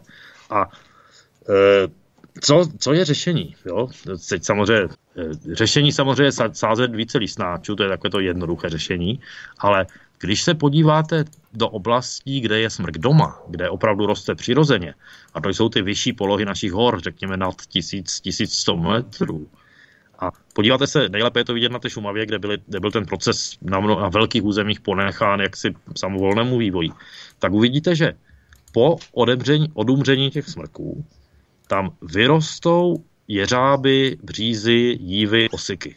Hmm. Samovolně, jo? Samovolně se tam prostě nalítnou. Ty tam rostou 20 let a teprve v jejich krytu, jak se říká, začínají rašit nebo vyrůstat ta nová generace toho smrkového lesa. A to zase není žádné tajemství. Žádné tajemství. Už v 19. století se v lesnických učebnicích těm listnáčům říkalo dřeviny přípravné. Hmm. A už v 19. století se tam psalo, že je dobré tam jako nechat pod, mezi těmi cykly smrku tady tyhle ty dřeviny aspoň chvíli, ne třeba celou dobu, jo, ale prostě pár let je tam nechat rašit. E, co oni udělají? Oni naopak mají zasadit ty opad a tím vlastně vypufrujou to, tu kyselost toho smrkového opadu. Jo. To je strašně jednoduché a je to fakt naprosta, naprosta učebnicová znalost, ale je fakt, že to socialistické lesnictví tu znalost opomíjelo, jo, jeli na rychlejší výnos toho smrku, aby prostě vyrostl dřív a to eh, tady to naše agrokapitalistické lesnictví to let kdy opomíjí taky. A za velmi zajímavé pokládám, když už jsem dostal ten prostor to, že eh, když ta kalamita vrcholila před těmi třemi, čtyřmi lety, tak vlastně i naši lesopáni udělali dvě taková zajímavá opatření. Eh, oni změnili lesní zákon v tom, že v případě naprosté krize je možné pozdržet Eh, obnovu kultury a pozdržet zajištění kultury. Dřív to bylo tak v lesním zákoně, že do dvou let muselo být zalesněno, do sedmi let zajištěno a teď to měla nějakou jasnou definici. Eh, zalesněno je, že tam napícháte ty stromky nové a zajištěno je, že to má nějakou pokryvnost a výšku. Jo? A e, s tím buzerovali ty soukromé majitele, zejména ty drobné, že jo, a dovedete si to představit. A oni teď to období prodloužili, to povinné zasnění zajištění, a e, což je vlastně strašně dobře, protože dali těm přípravným dřevinám několik let navíc. Ty tam nalítnou sami, jo? ty břízy, mhm. jeřáby a podobně. Takže, takže ono to vlastně na první pohled vypadá jako strašlivá kalamita, ale na druhý pohled to může způsobit e, za 70-100 let e, generaci zdravějších a řekněme přírodě blížších lesů. Jo. Samozřejmě, když jste ten majitel a přišel jste o ten eh, výnos teď, tak vás to pochopitelně mrzí moc, ale opravdu to toho dlouhodobějšího pohledu až tak. Slyšíme se? Jo, teďka se nám na chvilku vypad. Ale bylo to slyšet, eh, že se to z dlouhodobého jo, to... Eh, hlediska, že se to vyplatí v podstatě ty nálety. Jo, tak jsme slyšeli. Jsme slyšeli. No. ano, jo. ano. Ale máte nadprostou pravdu, pane docente. Co se týče vlastní zkušenosti, co se týče toho, eh, že tady byla taková, řekl bych, anarchie v tom lesnictví, protože tady za, za barákem máme les, kde před takovými, takovým roce 2009-2010 v tom lese byly eh, ty lapáky a lapače na toho kůrovce. A my, jak jsme tam chodili na ty procházky, tak jsme to viděli, že to je plné toho kůrovce. A potom tam jsme viděli pokácené napadené stromy, které, do kterého se teda ten kůrovec eh, natáhnul a oni je tam potom rozřezali a spálili je někde na nějaké mítině. Pak se to úplně přestalo dělat. Jo, v těch smrkových lesech, lesích a ten les je teďka holina, protože hm, to museli vykácet, nebo kácí to stále ještě, ale nic tam nevysadili, ale my, když jsme tam občas se šli podívat, tak oni tam opravdu jsou už vidět nálety listnáčů. Hodně tam vidím javory. No to je to, to, je to prodloužení toho to je to prodloužení těch lhůt, které opravdu z dlouhodobějšího hlediska budeme za to jednou rádi. Hmm. Ale e, opravdu za to, opravdu to bylo tou anarchií, jak vy říkáte. No, to byla anarchie. A teď ten bugr nebyl nikdo schopný sledovat, jo, to, hmm. víte co, ty, ty výběrka, tyhle ty věci. Je to samozřejmě naprosto proti logice práce, práce v přírodě, jo? kde nemůžete prostě čekat 30 dnů a vyhlásit řízení a nejnižší nabídka a podobně. Jasně, jo? To přece takovou práci mají dělat eh, chlapíci z vedlejší vesnice, kteří mají motorovou pilu a traktor a mají to dělat hned. Že? Ano, ano. Tak máme tady telefonát. Dobrý večer, slyšíme se? Slyšíme se, dobrý večer, tady je Bohdan ze Slezska, zdravím bývalou frideskou lišku Martina Kovičku, eh, eh, jako vždycky je perfektní a dneska si stěžoval, že, jako, že to bylo méně, peprné, ale jeho poměnování paní Jourové na svém radiu do Kostočtvrtce vešlo do dějin všech, tady k okolí Javorového vrchu a všech.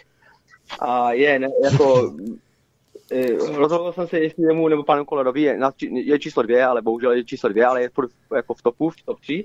A chtěl jsem se ho zeptat, na, že zmizly ty lapače, u nás tady na Náhorovém vrchu zmizly ty lapače, už teď, teďka, teďka se to trošku objevuje, ale před pěti lety, deset let nebylo ani lapač na... Přesně na... tak, tady taky ne. Tady taky ne, pane To sedí na tu dobu. Já samozřejmě neznám poměry v každém, na každém Javorovém vrchu, jo. Nezazuju to, ale byla tady prostě doba takové zvláštní anarchie, no. Ano. Jo, já jsem chtěl říct, jako, že to bylo, to, to bylo na každém kroku a bylo to perfektně. Teďka to fakt předtím, teďka to se objevuje, bylo jak byla ta kalamita, ale předtím to nebylo 15 let, to nebylo nikdy ani jeden. A pak jsem se zeptat, jak, jestli neví, jako jsou postihy, bo tady je nálet z Polska těch sběračů borůvek a oni to těma hrabkama úplně, jako úplně ničí úplně, to jsou, to jsou půlmetrové kombajny, co jezdí těma potom po těch křoví, jestli neví o tom, jestli u nás jsou nějaké postihy za to, protože v Polsce to jsou velké, velké postihy a u nás tady to si tak dovolí u, u nás. Protože, u nás je to taky zakázaný, ty hřebeny. Ano, takže, no ale u nás tady ne, nevíte hajného, který by je pře, přehnal. To je to otázka je, druhá, ano. Ano, takže tak to jsem chtěl A jinak, eh, aby se pan Čka k tomu vyjadřil a přeju mu všechno lepší a doufám, že, jako, že nikdy nenapomene na, na Slovenský kraj a, a co mu daří ve všem a jste nejlepší a, a to budu poslouchat z radiu. Dobrou noc. Díky, dobrou, naschle. Tak, pane docente, eh, nejdřív ty hřebeny polackých nájezdníků na Borůvky. Je to strašlivý. To, já, já, si o tom, já o tom fakt nemůžu říct celkem nic. Jo. Prostě buď se to hlídá nebo nehlídá a e, není to věc, kterou bychom měli nějak řešit, ale e, když jsme si tady nahráli takhle zajímavě a mluvíme dneska tak méně kontroverzně, tak ono s těma borůvkama to není tak jednoduché, jo? protože jsou samozřejmě situace, když je borůvka nepřítelem. To znáte, že jo? Teda to vám povím. A to je to taková pěkná historka, eh, která ukazuje, jak je to v té přírodě složité. Borůvka je nepřítelem v současné době na vysokohorských holích Jeseníků, Krkonoš i mnohých slovenských hor, protože to jsou území, kde se historicky páslo. Jo, hmm, sudeční Němci v Jeseníkách, v Krkonoších pásli, travařili, a tou pastvou udržovali vysokou diverzitu rostlin, živočichů. Byly tam i ty borůvky, samozřejmě nebylo jich tolik. Jo? Ano, ano. Když zápas přestalo, když se z toho udělali přírodní rezervace, když zůstaneme tady v Sudetech, Jeseníky Krkonoše, prvních pár let po zastavení té pastvy, a to byl ten omyl, vypadaly ty horské hole naprosto úžasně, protože všechny ty pěkné kytičky, které předtím ta pastva že jo, držela v šachu, tak mm. vykvetly a e, když přikvetla sasanka narcisokvěta pod Petrovými kameny, tak to vypadalo z dola, jako že nasněžilo. Ano. Krása, jo. E, takže se tam zakazali vstupy, že jo, dál se to drželo, jenže to se stane pak. Pak zvítězilo pár druhů zdatnějších, agresivnějších trav, e, takže už moje generace zná ty krkonožské a jesenické hole jako převážně travnaté. Hmm. No a ty trávy mají samozřejmě tu vlastnost, že nikdo nežere, že e, stařina se usazuje a v tom právě už potom vydrží jenom ta borůvka, která ty trávy přeroste. Yeah. A když dneska půjdete na některá místa v Jeseníkách či Krkonoších, tak tam uvidíte v podstatě monodominantní porosty borůvky, kde neroste vůbec, ale vůbec nic. A eh, jak je ten vývoj toho poznání složitý? Ještě v devadesátkách, když jsme tam zkoumali motýly, teda ty motýle, jo, tak pořádala zpráva HKO Jeseníky každoroční akci Borůvka. Akce Borůvka bylo, že sehnali takové ty vesnické policajty z podhůří a nějaké ty, tehdy už asi nebyla pomocná stráž VB, ale nevím, co bylo, dobrovolně ochránci přírody nebo kýho čerta. Obklíčili ty údolí jako ze spodu a ze spodu ti tatíci v těch policejních uniformách jako šli nahoru a chytali ty borůvkáře. Hmm, hmm. A na vrcholu, na, v malinké chatičce na Vysoké holí, kde my jsme tehdy měli od zprávy půjčenou základnu, aby jsme měli kde bydlet, tak to bylo tak, že jednoho rána prostě, už jsme byli varováni předtím, ale slušně zaklepali, že jo, poli, poliši tam přišli, nepřijeli autem, přišli normálně jako po svých, eh, donesli si v batozích psací stroje, všechno tohle tu, by jsme věděli, že to bude muset na jeden den vyklidit. Udělali si tam normálně policejní oficíru, mm. vysílačky a tak. A tam ty chycené borůvkáře perlustrovali a udělovali jim tam ty pokuty nebo správní řízení a tak. Jeden můj kamarád, tehdejší eh, střední podnikatel z Olomouce, který nám tam tenkrát pomáhal, jako dobrovolník, tak ten byl z toho naprosto nešťastný, protože měl ke složkám takový ten dětinský odpor. A Oni, eh, sranda je, že oni měli ještě tehdy psací stroje, jo? byl yeah. rok 98, myslím. Mm-hmm. A tehdy teda ty borůvkáři tam takhle jako buzerovali. Dneska už vědí ti sami ochranáři, že ta borůvka není úplně kamarád. E, jako všeho moc škodí, že jo. A e, takže dneska tam je jakoby pořád zákaz vstupu mimo ty, ty hezky a takhle, ale zároveň to berou tak, že tam ty borůvkaře nechávají bejt. Jo, není to nikde napsáno, jako pojďte hmm, všichni hmm, hmm. na borůvky nebo tak, ale už je, už je prostě nikdo nenahání, protože aspoň trošku ty monodominantní porosty, aspoň trošku je poškodí. Jo? Ano, hodně Takže poškodí, taková, ano. Je, taková je dneska situace. Tak a teď se vrátíme ještě k té SMS, eh, protože jak byl další dotaz na to, jak vnímáte, jak vnímáte ničení krajiny a dopady tím, no, jak je vnímám s těma, špatně, samozřejmě. Těma sta, Moje práce, kromě, se nějak se neslyšíme. Tady vypadá vás si wi Slyšíte mě teď? Já vás slyším dobře. A vy mě? Slyší... Jo, tak, tak e, Teď už jo, ale prostě vypadlo to na chvilku. Ale ona kolísa tady asi připojení. Takhle, e, já to vnímám samozřejmě velmi intenzivně, protože kromě toho, že robím tento režim, tak jsem placen za to, že zachraňuju tu krajinu. Jo? A v zásadě všechno, co v práci dělám, je, jak, s tou, jak tu krajinu neničit, jo? nebo jak vymýšlet, aby v, ní, aby v ní mohl existovat život. Jo? A docela mě i, ku podivu mě i berou lidi, kteří jsou třeba, řekněme, politicky jinde, jo? protože jinak bych už za to ty peníze, teda tu pravidelnou měsíční mzdu nedostával. Ale možná vás překvapím, že konkrétně s těmi dálnicemi, to není tak jednoznačné, jakože jenom škodí, nebo oni samozřejmě škodí, jo, protože zaberou půdu, zaberou prostor a tak, ale současně eh, jsem takový jako čest, přivedl jsem do Česka, protože jsem to nevymyslel, ale přivedl jsem do Česka myšlenku, že eh, nemusí být jenom negativní, pokud se zamyslíme, co se bude dělat s těmi biotopy podél těch dálnic hmm. a silnic. Jo? Hmm. Protože zamyslete se nad tím tak, co, co je vlastně většina tady naší středoevropské krajiny. Jsou to buď strašně intenzivní zemědělská půda, anebo dost eh, zničené, to znamená druhově chudé, ochuzené, takové jako fádní lesy. A co tady chybí a co tady ale vždycky bylo a bylo toho vždycky strašně moc, teda vždycky myšleno zhruba tak do kolektivizace, jsou takové ty jako loučky, stepičky, neplodná půda, úhorky, neobdělávané nějaké eh, strávky, jo? dřív to byly ty různé meze, eh, okraje lesů, lemy, které nebyly, neoralo se prostě až, až po kořen nejbližšího stromu, ale byl, byly tam nějaké souvratě a tak. Mm-hmm. A tohle, takové to jako mm, polopřirozené bezlesí by se to dalo nazvat, jo? případně křoviny. A to všechno kolem těch dálnic a silnic skoro spontánně vzniká.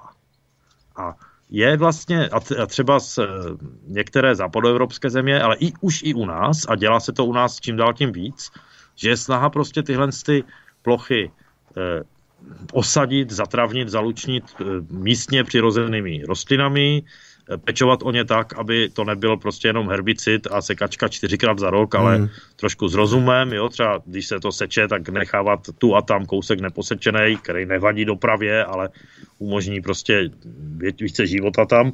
A když se nad tím tak zamyslíte, kolik je u nás kilometrů silnic, dálnic, těchto těch prostě staveb a teď oko 20 metrů na každou stranu, možná, jo, a vy, vynásobíte si to, a já jsem to kdysi dávno počítal, pro ředitelství silnic a dálnic.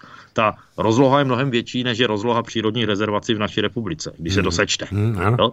hmm. Takže my o tom můžeme, aspoň nebo měli bychom, o taková místa pečovat prostě nějakým přírodě blízkým způsobem a tím aspoň trošku, protože dálnice a silnice vždycky budou, jo? tak proč z toho, řekněme, negativa nevytěžit aspoň trošku něco pozitivního. A čím dál tím častěji se to děje, eh, ty základní výzkumy o tom jsem nedělal já, dělali to prostě jiní kolegové mladší, jo, ale eh, čím dál tím častěji se to děje a a? Vypadlo to? Teď vás zase neslyším. To, tak já mi vás taky teďka to zase vypadlo.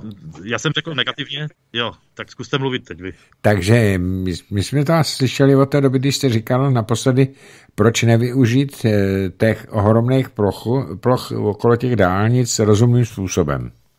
Ježíš. Jo, jo, no tak mm, vlastně už jsem pak nic neřekl, neřek, jsem takže, opakoval, že ano. Eh, takže... nevím, jestli tady padlo, že ta rozlo, rozloha těch různých vlastně těch těles, těch dopravních staveb, je v součtu větší než rozloha přírodních rezervací no, to, Ano, to jsme slyšeli, přesně Takže, tak, ano. Jo, no tak v zásadě jsme si řekli všechno, všechno podstatné. To, to bylo až na konci ten pěrek. Eh, pane roce, tam tady další dotaz, eh, zajímavý dotaz. Eh, dobrý den, pánové, mohl by pan docent Konvička pohovořit, jak se daří broukům u Černobylu? Děkuji, Michal. Nemohl, protože to nevím v zásadě, Vím, jak se tam daří velkým zvířatům, vlkům, eh, hmm. zubrům, koní převalského a podobně. Eh, to je asi málo známá věc, že, že jo, tam je ten, ta radiační oblast, ano, která ano. byla vylidněna a podobně. A jednak se tam začaly spontánně vracet některá zvířata, právě ty šelmy, jo, šelma hmm. přijde, že jo, to je chytrá.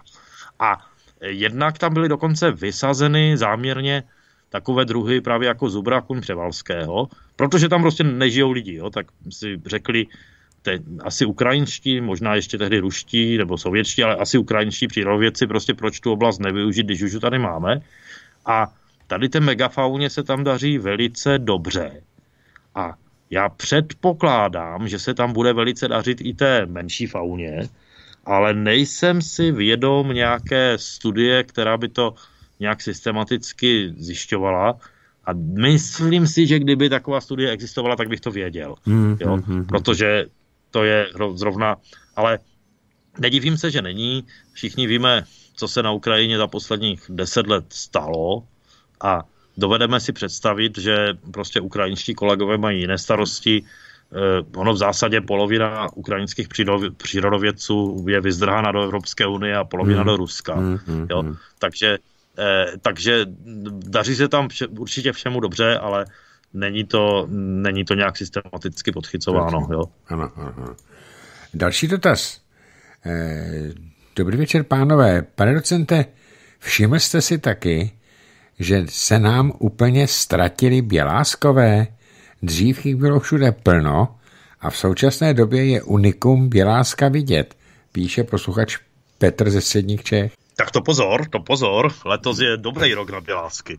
Ale možná, možná si to Petr, eh, že nemá aktuální pozorování, ale hlavně i bělásci jsou sezónní záležitost. Oni mají tři generace do roka. Jo. Ta první generace je, řekněme, ta první generace je v takovém tomu květnu, ta druhá končí teď, je v červenci, hmm. a ta třetí je takový ten přelom srpna září. Jo? Jako samozřejmě záleží, kde přesně jsme a o kterých běláscích mluvíme, ale Pravda je, že v květnu nebyli prakticky žád... V květnu nebyl hmyz, ten květen byl tak studený a šílený, hmm, hmm. že opravdu byl problém najít hnědáska, v květ... teda běláska v květnu, červnu ale eh, on, teď se ta, ta letní generace je v plné síle, ku podivu, eh, zase asi jak kde, jak kdy. A ono totiž bělásku je ještě více druhů, že jo? A Petra si myslel běláska zelného, to je ten největší. E, to málo lidí ví, ale bělásek zelený je prostě velký motýl. On má tak 7-8 cm, ano, možná, ano. možná 6-7 v rozpětí, jo? Je to ten největší bělásek. A e, těch je letos mimořádně mnoho mimořádně mnoho, tolik jsem jich už tak 15-20 let neviděl. A e, on je částečně tažný z jihu sem. Hmm. To znamená, že opravdu ty, jsou meziroční rozdíly v té početnosti.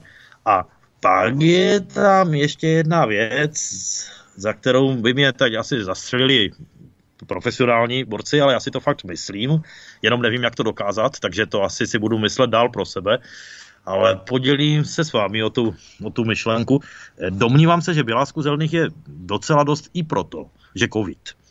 A to hned vysvětlím. Hmm. Eh, půlka Evropy byla doma a půlka Evropy udělala to, co lidi udělat v takové situaci mají, a sice zasadila zeleninu a zvětšila stavy domácích zvířat. Hmm. A když se, ten bělásek zelený opravdu žere zelí, kapustu a podobně. Ale z toho zelí na těch, z toho zelí na těch eh, intenzivních polích a v intenzivních zahradnictvích se moc nevykrmilo. Jo? Tam máte pesticidy, insekticidy a podobně. Hmm. Ale to zelí na té zahrádce, to je pro ně. Jo? A e, prostě opravdu vidím český a moravský venkov a lidi se, nebo e, zahrádek opravdu přibylo, domácích zvířat přibylo a tím prostě Běláskovi zelenému přibyly zdroje. Mm, Nemáme na to přesná pozorování a nevím ani, jak by se tohle to dalo nějak přesně zjistit, protože do toho máte klimatické faktory a meziroční změny a tak, ale je to logické. Tak máme tady další telefonát. Dobrý večer, slyšíme se? Dob- Dobrý večer, vážený pane Kapale, zdravím pana docenta. A měl by jsem jeden dotaz, který se bude týkat daleké Sibiře. Ve 20. letech profesor Kulik s celou výpravou vyjeli na Sibiř pátrat po takzvaném tunguském meteoritu a pohybovali se tam eh, kvůli komárům, že vypadali jak zájezd českých včelařů všichni byli v takových sítích. I na tom černobílém dokumentu bylo vidět, že se to kolem nich hemží. No a všude kolem zničené lesy, nikde nic. Mě by zajímalo, jestli pan docent tuší, čím se pak ti komáři živili, když ta kuliková výprava se vrátila zpátky. Jinak moc děkuji za hezký pořád. Já si poslechnu odpověď počítače a všechny vás pozdravuju a děkuji. Dobrou noc. Dobrou noc. Tak komár tak. není primárně lidožravý. Komár žere jakékoliv, potřebuje nějaké obratlovce, takže eh, losy, eh, já myslím, že prostě to zvládli i bez té kulíkové výpravy. Tam bylo, tam bylo ty zvěře asi hodně, no, no, no. Jinak, eh, já musím, vážení přátelé, vzpomněl jsem to na začátku říct, ne, nezapomínejte, že stále běží soutěž Svobodného rádia o nejoblíbenější postavu Svobodného rádia, který vystupují v rádiu a posílejte ty vaše SMSky eh, na telefoně, děláte to sice i teď, ale já to upozorňuji, na telefon 731 720 756. Tato soutěž poběží až do začátku prosince, pak bude vyhodnocena a ten host nebo ten člověk, který ta osoba, která zvítězí, dostane od Svobodného rádia docela pěknou cenu. Takže jenom to připomínám. Tak a teď jdeme na další dotaz.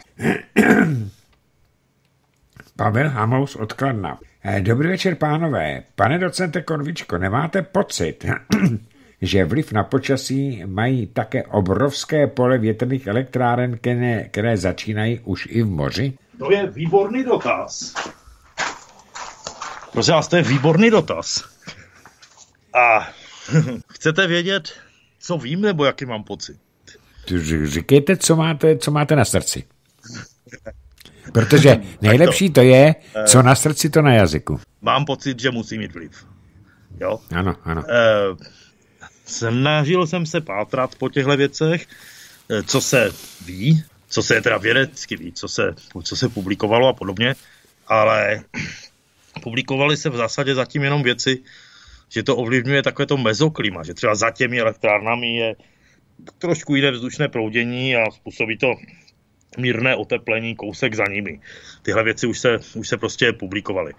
Ale eh, podívejte se, eh, Newton, jo, zákon zachování energie jasně říká, že když tomu větru vezmeme tu energii, tak a uděláme z ní teda tu, tu, tu elektriku, že, tak ten vítr tu energii ztratí. Že jo. Teď my si musíme, já, já, já nejsem opravdu kvalifikován k tomu, abych řekl, jak velký ten vliv je a co to může, nemůže udělat. A je mi moc líto, a to tušíme všichni, jo, že jsou věci, které prostě se zkoumat, eh, zkoumat se může cokoliv, jo, ale věci, na které dostanete fondy, na které nedostanete fondy a které se vám budou dobře publikovat a špatně publikovat a tak. A negativa tady těchto těch nových vymyšleností, nebo staronových vymyšleností, protože větrná elektrárna není nic jiného než starý dobrý větrný mlín, že jo? tak e, ty negativa se asi, asi moc neskoumají a moc se o nich nemluví. Ale e, přece jenom se už dneska začíná tak nějak otevřeně říkat, že zejména ty přímořské elektrárny ohrožují migraci ptáků, hmm. ohrožují, řekněme, takové to přirozené chování mořských savců typu delfínů, svinuch a podobně a že prostě dělají, nechci říct více škody než užitku, protože to je silné slovo, ale že prostě mají dost zásadní negativní dopady. A jenže tím, že jsou prostě teď ve fóru, že jo, tak se o těch negativních dopadech příliš nemluví, různě se zamlčují nebo se prostě obchází ty, ty informace, ale že to, je, že to je strašlivé šílenství a naprosto pitomost samozřejmě víme všichni. Jo. Eh, a, ale jestli to bude, jak velký je ten vliv na počasí a jestli je měřitelný a jestli prostě to, to opravdu nevím, hmm. ale pocit mám. Já jsem viděl jenom uh, takovou animovanou, uh, takový animovaný film, který si tím zabývá, natočili to Němci a bylo vidět, jak když fouká ten vítr a z toho moře jdou ty obla, tyto obla, ta oblačnost, takže ty větrníky rozbijou a ona se zvedne a potom v podstatě e, udělá takovej, takovou sinusoidu jako. A proto taky v těch oblastech za těma pásama větrníků e, tam je daleko méně deště, tam psali. No, a pak, pak je tam ještě jedna věc, že e, byli jste někdo někdy, teda někdo, vy pane redaktore, byl jste někdy blízko větrné elektrárny za provozu? Ne, nebyl. Větrné elektrárny nebyl blízko. Jo, nebyl. To, ono, ono, u nás je ještě, u nás je ještě tak málo, že to vlastně nikdo nezná, to, no. čím, co si ti nešťastní Němci aplikovali, jo. Ale eh, blízko, to znamená kilometr, pár set metrů, to je opravdu svistot, když to jede, jo. Mm, mm, eh, podivné, podivné, já nedovedu říct, co to jako prostě, podivné zvuky, jo, výbru, takové vibrující a velmi nepříjemné. Proto to ti Němci nechtějí u svých obydlí, teď jako už skoro to není kde dělat, že jo. A e, představa, že by to, to, to velmi nepříjemné, které cítíte jako turista, řekněme, představa, že by to velmi nepříjemné necítili živočichové, hmyz, je prostě pitomost. Oni to musí prostě vnímat a cítit taky. Že jo? A je to fakt velmi nepříjemné. A jenže vy jako turista víte, že, to, že, že ta vrtula neuletí a že vám to bubínky neprotrhne, mm. jo? ale Otázka naprosto legitimní je, jestli to ví ta trnka, jestli to ví ta sova, jestli to ví ten eh, kdokoliv. Doplňme si, co chceme. Jo? Takže e, ti Němci si opravdu za, zaneřáďují zemi plošně něčím, co, u čeho nechcete bydlet. Jo? Ano, ano. Ale vůbec se neptají, nebo je to, je to prostě náboženství. Jo? Není, to, nic jiného. My jsme vlastně tuhletu, tuhletu, řekněme, filozofičtější rovinu se jí tak trošku, jsme se k ní nedostali, řekněme. Ale e, máme posledních pár minut, tak... Tak se rozhovořte. Můžeme to probrat teďka, než... E, aj, aj. Aj, aj, vypadlo nám to. Takže já to zkusím znova zavolat. Teď nám to vypadlo. Hmm, pan Konvička je mimo. Mimo signál. Vypadlo to tam.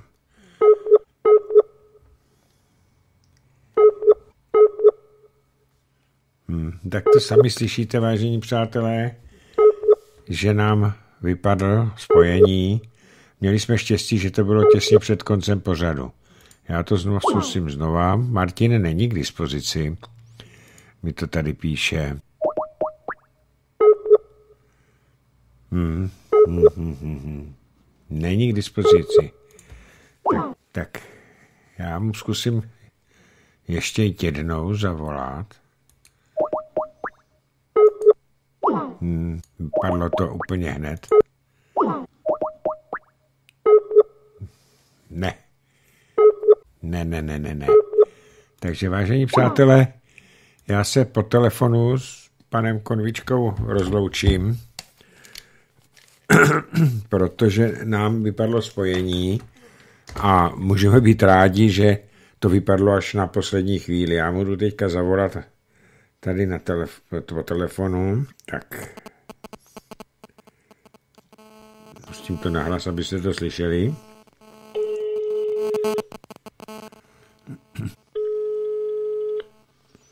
Tak zatím ani telefon nebere. Asi ho nemá u sebe. Tak se nedá nic dělat. Musíme to dnešní vysílání ukončit. Já jenom opakuju pro ty, kteří jste přišli později, že e, Martin Konvička je e, na vědecké výpravě v nějakých horách a je tam na chatě, šel na chatu, kde mají wi a ta wi zřejmě přestala fungovat, nebo jim tam vypadla elektrika, nevím, ale zřejmě nemá u sebe ani telefon, protože ani telefon nezvedal. Takže já jsem se s ním ani nemohl rozloučit, takže já se s ním rozloučím, až ho, až ho nebo poděkuju za to, že za nás udělal čas, i když je, říkám, na té vědecké výpravě, někde v nějakých horách, tak eh, až se mu dovolám, tak poděkuju i za vás, že si na nás udělal čas. Vážení přátelé, to bylo já ještě poslední informaci, prosím.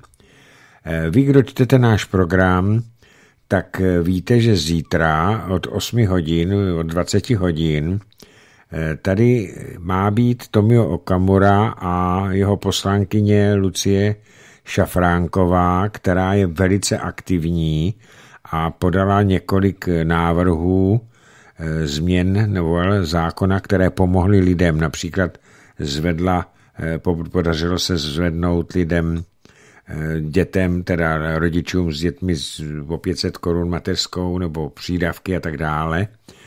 Eh, snižovaly se nějaký daně taky u těch lidí, ona by nám to všechno řekla, ale volal nám dneska Tomio Okamura, že paní Lucka Šafránková se snažila být zodpovědná a nechala se oočkovat Pfizerem. Když měla první očkování tím Pfizerem, tak eh, se jí neudělalo dobře.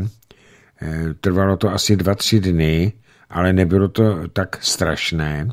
Ale teď se nechala poočkovat tím druhým Pfizerem a ono i to skolilo. Přímo do, do, musela navštívit eh, lékaře, protože jí přepadly čtyřicítky horečky. Nevím, tenhle ten telefon jsme dostali včera od Tomia, tak eh, říkal, abychom tady eh, jenom oznámili, že možná eh, paní Lucka Šafránková se nebude moc dostavit, protože bude ležet v horečkách. Takže, ale i Tomio Okamura, ten tady bude každopádně, takže si budeme povídat s Tomiem.